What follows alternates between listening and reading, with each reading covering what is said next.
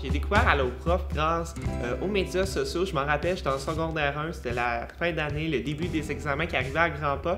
Et là, je cherchais un document, une fiche pour m'aider. Et je suis tombé sur AlloProf avec euh, des fiches pour chacun des chapitres euh, qui décrivaient l'ensemble de la matière que j'avais vue. Quelquefois, on arrive à la maison, tu as un examen le lendemain, là, tu es tout seul avec tes documents de révision, tes livres de maths, tes notes de cours. Donc, part que je découvre AlloProf, euh, je te quand même un peu limité dans mes ressources. C'est sûr qu'on demande de l'aide aux personnes qui nous entourent, mais ça fait longtemps qu'ils ont quitté l'école. Par exemple, si je pense à mes parents, ça fait déjà quelques années, les programmes ont changé, les notions sont quand même loin. Euh, ben, Alloprof, ça m'a permis de venir combler ce besoin de sécurité que j'avais besoin. Et en même temps, ça a enlevé beaucoup de poids sur les épaules à mes parents.